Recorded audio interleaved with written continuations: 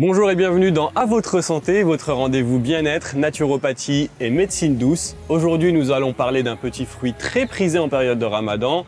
Il s'agit bien des dattes.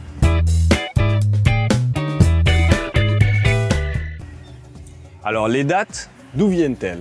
Originaire de la région de l'Euphrate, l'actuel Irak, ce fruit date d'il y a plus de 8000 ans.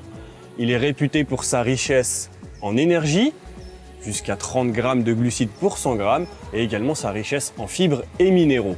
C'est d'ailleurs un fruit qui est très utilisé dans la région du Moyen-Orient et notamment dans l'Afrique du Nord. Voyons ensemble le secret des dattes, ce petit trésor de vitamines et minéraux.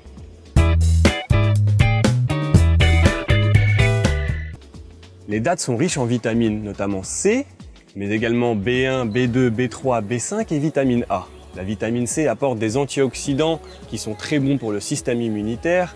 Les vitamines B, quant à elles, sont très bonnes également pour le système immunitaire, mais surtout pour notre système nerveux.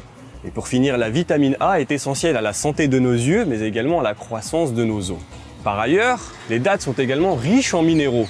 On retrouve notamment une richesse en calcium, magnésium, potassium et manganèse également. Le magnésium, quant à lui, va être essentiel pour la transmission de l'influx nerveux. Le calcium va apporter justement des minéraux essentiels à la santé de nos os. Le potassium est également essentiel à la relaxation musculaire.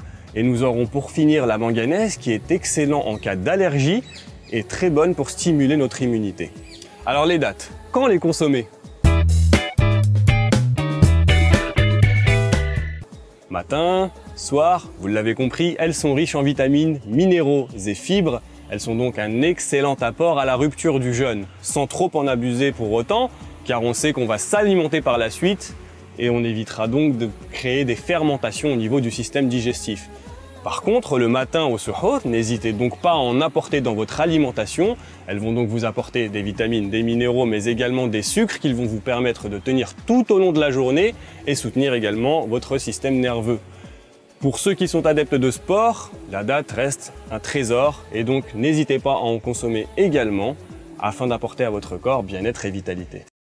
Cet épisode s'achève, je vous dis donc à très bientôt et à votre santé.